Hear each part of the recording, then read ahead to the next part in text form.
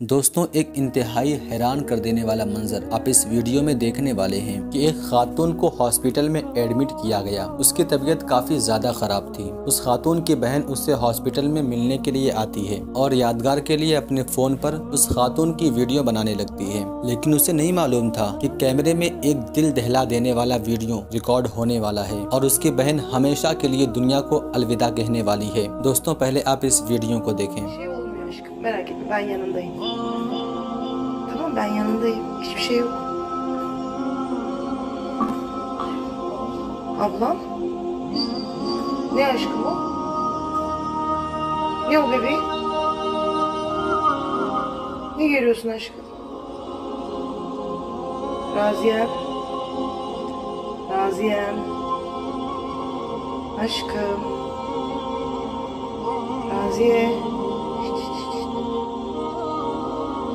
Mazi. Aşkım.